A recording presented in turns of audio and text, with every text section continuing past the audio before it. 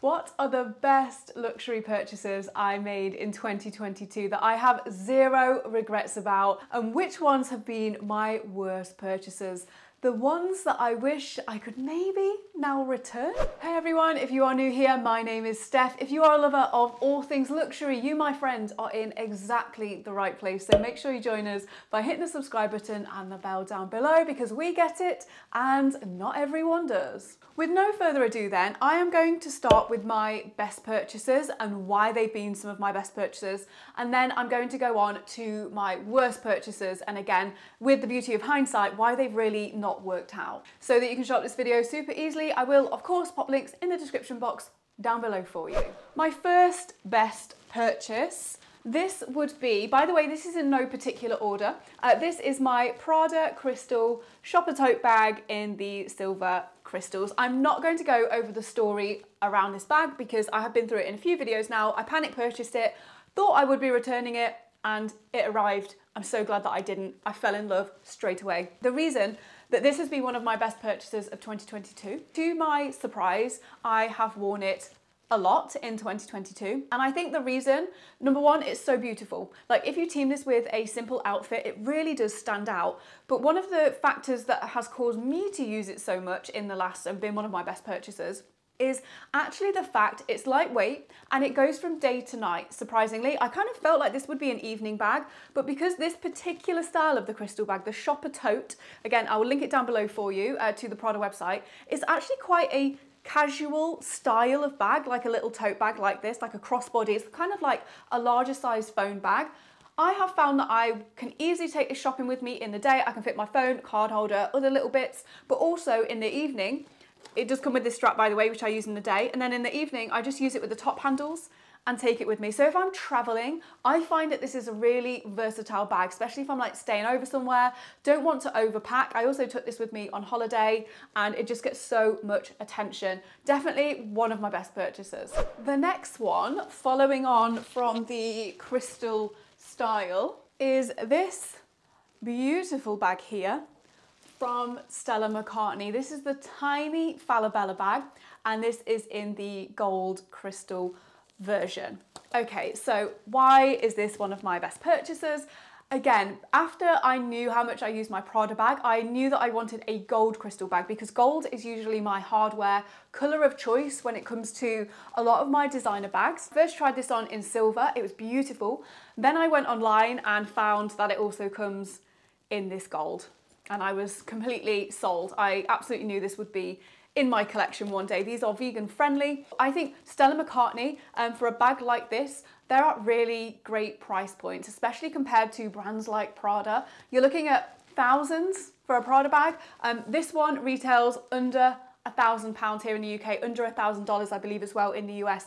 The particular, this one here, the gold one, does sell out quickly, but they're starting to bring it out in different colours as well. So hopefully it will start to be restocked. But you can top handle it, you can crossbody it, you can shoulder it. And I just feel having a crystal bag, especially in a small size, it like makes a statement without taking over. So as a grab and go, kind of adding a little bit of beautifulness to an outfit, that is why I would say this is definitely one of my better purchases of 2022. The third best purchase of 2022 is a bag that I literally would not be without. I use it all the time, pretty much every day, especially throughout autumn winter. If something happened to this bag, I would go out and buy it literally tomorrow. That is how much I like this bag. This is the Givenchy Soft Antigona. This is a small size, black smooth leather. I treat this bag really badly, but it still looks so beautiful. We don't have any scratches to say this is like a smooth leather. It's got my stuff in right now. I use this all the time. And I know the reason why. The reason why is because it's such a simple design, but it's also a bit different. Like you don't see the particular, like the soft Antigona everywhere. Because it's so simple, it goes with everything. Practicality wise, it's great. Top handle it, grab and go, shoulder it. You can take this off by the way, or crossbody it. I'm mostly crossbody it if I'm out all day, or just grab and go with the top handle if I'm just nipping out. And the fact we have a zip closure makes this bag secure. So for me, in terms of a practicality point of view, we can fit a bottle of water in here, all my everyday essentials. You can expand it out as well. This just makes total sense and this is why I gravitate towards this bag so much and literally use it as my everyday bag. My next best purchase is a pair of shoes or sandals to be exact. These are my Fendi sandals here and they have like a scrunchy effect. These are in colour tobacco with black and um, I'm so glad that I got these. I got them in the Farfetch sale actually and throughout summer I would wear these all the time, like with a dress, with some shorts, with a skirt. They are so comfortable. They mold to the shape of your foot, which is super important. This scrunchy stuff here, it's like a Velcro fastening so you can, you know, it's not too tight around here, you can adjust it perfectly. Um, a really nice soft fabric material. Highly recommend these, absolutely love them. They're kind of the, the dad style sandals that are very much in fashion right now. I think we will see this trend carry on into 2023. The next item is another one from Fendi. Um, to say that I don't actually have any Fendi bags, which surprises me. There is one that I'm definitely looking at. I will be bringing out a video soon on my 2023 wish list, so make sure you subscribe for that. But in terms of their accessories, like their fashion and the, the footwear, I really, really love. I feel like they're actually one of my favourite brands, especially in terms of the clothing. So the next item is my Fendi Highway shorts. I got these in the colour caramel and as you can see they have the like Fendi print. So I have worn these so so much mostly through autumn winter but I did actually wear them in summer as well. I like putting them with some uh, boots like knee-high boots, some tights and then like a jumper in winter. I would say they run fairly true to size as well. I will link them down below for you if you want to get a pair. You can also get plain pairs. Oh and by the way guys we do have pockets for the mobile phone here. Very important. But like I said, they do come in other colorways, different fabrics, and I feel like this is just such a classic. Fendi have really like nailed the cut of these high waist shorts. I wear them all the time. Definitely a really great investment. My next best purchase is definitely one of my most expensive purchases ever, but one that I have zero regrets about. This is my small trendy CC bag. This bag's not for everyone, but I do feel like it's quite popular now. Now I do know that this bag is quite high maintenance with it being a soft lambskin. Okay, it does scratch, it does indent quite easily. So I am very careful with this bag. I'll be honest, this hasn't made this video because it is my most used bag because it is not. I would actually say in terms of uh, using this bag, I get sometimes a bit frustrated with it because there are so many compartments inside of the bag, even though it looks quite big, let me just show you. Because it has all these compartments, you can't actually fit like bigger items in here. And also if you do kind of concertina it out too much, the front flap here, it just won't close on the front of the bag. So I would say the Trendy is smaller than what it looks like. I thought it would hold more than what it does. So there are some occasions where I have wanted to use this bag and actually it just wasn't big enough. So I needed to get something else that technically was smaller than this bag, but just fit bigger items in. But overall, I have like no regrets on getting the trendy. I think it's an absolutely classic style. I love it. I think it's just so beautiful. And when I do use it, it just feels so special and it goes out of all my bags actually because of the, the way the lambskin looks, it does look so luxurious. It's probably one of my easiest bags to style, so I can literally put this with anything and it really adds a beautiful kind of classic timeless chic look to whatever I'm wearing. The final item that has made it into this video in terms of one of my best purchases is my Louis Vuitton Lock Me Mini. Oh my gosh, look at this bag in colour Greige. This was on my wish list in 2022. I said that I wanted the Lock Me Ever bag, but um, at the time, the smallest size they did was the BB and um, they didn't do it in this Grecian gold colour combination. I think they did like a black and silver and I just knew that in terms of silver hardware, it's not. I prefer gold hardware so much more that I was just going to wait. Then as soon as I saw that this bag was released, they were releasing a mini size, which I'll be honest, it's quite a big bag. Like this is a roomy bag. I can even get, to say my trendy can't fit my headphones, uh, my card holder, my keys, this can at a push, but I can actually get like my full size headphones in here, a card holder, I will do a full review by the way, so again, make sure you subscribed if you are interested in that. But you can fit so much in here because it is just one big, big compartment. I do need to get a liner for this bag because it is like this really light pink colour. But in terms of um, a designer bag, this pretty much covers all bases for me. Chain strap is probably like the best thing about this bag It's so beautiful. You can take this off. I can shoulder it, crossbody it. It works so well. Um, so yeah, I'm so glad finally this bag came out. You can currently choose from the black and silver and they also do a pink and gold. But this one for me was definitely my favorite color and I'm not so keen on the other two. Now let's move on to the darker side of today's video. My worst luxury purchases of 2022. The first one is a pair of shoes. These. Uh, these are from Fendi. So I love my sandals. They are so, so comfortable. These are the slip-on style trainers. They kind of have a cool platform with Fendi going around. Uh, they are in a tobacco colorway. I saw these at Bicester Village, so I did get these half price, so it's not as upsetting as if I paid full price. Do I think these are like some of the coolest trainers I have ever seen? Yes. I love the way that they look and maybe I need to spend longer bedding them in. But because they are, I wouldn't say they're the most heavy, like I've definitely felt a lot heavier in terms of designer shoes. Because they are slip-ons and there's no way to kind of fasten them to your feet, they do slightly slide off your feet. That is just the nature of this style of shoe. Um, I do believe I've got the right size. I maybe could go down half a size on them, but generally like this is my size i've got the same size in the sandals and they fit perfectly i think it's just the nature of this kind of style of shoe so for me, I love them. I will never wear them out for where I will be walking around for quite a long time. I have worn them and I do find the backs of them rub quite a lot. I have got some like insoles in here and things around the back to try and make them more comfortable. And again, maybe I do just need to wear them in quite a bit more to make them super comfortable. But I have realized I probably prefer like trainer style where they actually fasten up so that I can put them on my foot a bit more and that they don't slip off like this style of shoe does. So lesson learned there. The second worst purchase, and this might sound ridiculous, but I kind of knew it would be one of my worst luxury purchases of 2022. It is the Saint Laurent coffee mug.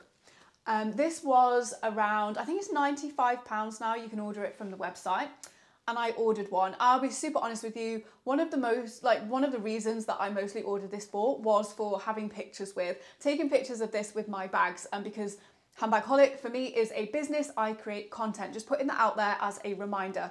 That is why I got this coffee mug. But in terms of actually using it as a coffee mug, it's quite heavy, which maybe is a good thing, like good quality, it holds the heat in well. But also, I find these types of coffee mugs not the most useful to use unless you are literally going on a little walk carrying it, but once it's empty, you kind of need somewhere to put a dirty mug. If you don't, you're just carrying around a heavy thing. And if you're traveling anywhere, again, it's just not practical because once you've finished your coffee, even if you get it refilled, like when you've finished it, you don't want don't want to have something in your hand all the time, or I definitely don't. And you can't screw the lid shut. It does just have like this opening here. There's nothing you can put in it to kind of seal it. This also comes off so easily that, you know, if you tipped it up or anything like that, it would probably just come off. Like it's really not secure on here. You cannot tip this in any way, shape or form. Put that back on there. So yeah, Heavy, don't like the lid. Do you think it looks really cool? We've just got Saint Laurent on the front here. I knew this would be a silly purchase and I can confirm if you're actually looking for a coffee mug, I probably wouldn't go for this one unless you just want it, like me, for the aesthetics. The next worst purchase is another pair of shoes. So again, lesson learned here. I'm definitely learning a lot about the luxury world of shoes and maybe how I need to purchase them going forward. These are my Jimmy Choo bow shoes. They are actually so beautiful. I have them out in display here in my filming room and they look so perfect. One has the bow on the back at that, and we have the strap. One has the bow on the front. So uh, why were these one of my worst purchases? In terms of like prettiness, they're really beautiful. But again, it's kind of a bit like the uh, Saint Laurent coffee mug here. This bow on the front, you kind of step on it when you're walking. So I find that I walk more like this, which doesn't feel so natural. And if I'm stood around, um, I can often find myself just standing on this bow. I wish that these actually came with both of them with the bow on the back because this one just looks, I actually think this one is my favourite out of the two. I think this one looks nicer and it's more practical. So if they did a pair where the bow is both on the back of both of them and not this one on the front, I would definitely be inclined to purchase those. The fourth worst purchase of 2022, and it was actually going to be one of the best. It is the Christian Dior uh, diamond motif Lady Dior bag. I ordered the small size and it was in the matte black. I've spoken about this bag a few times on my channel and I can honestly say when it arrived, I loved it. I still to this day, there are outfits that I put on and I want to wear that bag.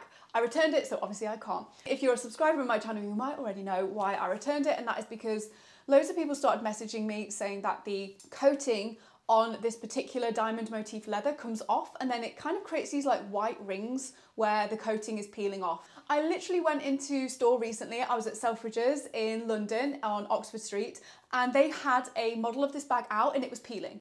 Mine had no peeling on it because it was, it was new, but I was very apprehensive that I was buying myself an expensive problem where I would maybe have to keep taking it back to Dior, maybe arranging exchanges and just kind of being at the mercy of their customer service. So I decided to return it. And I'm just so sad about that. And I still want to raise awareness for anyone else who wants this bag. Um, I don't know if it affects the entire batch. So in terms of potential, this bag actually had one of the best potentials in my collection because I really liked the fact it didn't have a huge logo on it. But then due to this issue, it was one of my worst purchases. It broke my heart. My next worst purchase is a bag that I have had my eye on for quite a long time. I remember seeing it being sold pre-loved and I was like, I really like that. I waited a while and one eventually came up because you cannot buy this new from brand anymore. It is the Gucci Bee Supreme tote bag. I still think this is a really cute bag. I have used this zero. Never left my house in 2022. One of the reasons being because I've not seen this bag in real life. It has got loads of stuffing in here right now to kind of give it some shape, but it is just so soft, like the canvas just honestly, it just squishes. It doesn't feel like the best quality bag, which I knew it wouldn't be because of the price point of this bag. It's, you know, a few hundred pounds, it's not a few thousand pounds. I do think the canvas is nice. I think the B gold B detail is really cute. It does come with a crossbody detachable strap as well and shoulder strap. But I think for me, I didn't really think this through. I like the look of the bag, but because it's, it's actually smaller than I thought it would be, and I find small tote bags that have no zip closure, they always worry me that someone could put their hand into the bag, but also if I were to, you know, the bag were to fall over, what will fall out? We do have like a little magnetic closure here, but never gravitated towards it. I don't really know what I was thinking. I do have lots of other bags of this similar size, like tote bags anyway, that I prefer more than, and I would definitely be selling this one, but this was definitely a mistake. Bag number six is one that is no longer with me, but it was an instant regret uh, pretty much as soon as it arrived. This was my Louis Vuitton watercolour Speedy. Uh, the first issue with this bag was it was a Speedy 35, so it was even bigger than the Speedy 30. I find the Speedy is such a bulky bag that actually wearing it crossbody, that's how I like to wear most of my bags, they, they're just too big for that for me. I bought a pre-loved version of it as well, so I knew there was wear and tear to this bag. And the reason that I purchased it was because this is one of the, the best prints I think Louis Vuitton has ever brought out. That is why I decided to go for the Speedy um, because one came up and it wasn't at a ridiculously astronomical price. I knew it needed a lot of cleaning up, but I think what happened here is I got swept away with the idea and the dream of finally owning this particular print of bag that I maybe oversaw the fact that this style of bag, the speedy bag, I've accepted this now, isn't really my style of bag. It doesn't really work for my lifestyle. It's taken me a while to get to this point. As soon as it arrived, I was like, it's too big okay, the print's beautiful, but I will, I will just never use it. If I could find a bag with that print that would suit my lifestyle more, I would absolutely love to have one, but I definitely got carried away with this one. My final worst purchase of 2022. This one hurts and you're just gonna have to stay with me on how I explain this because I don't regret the purchase.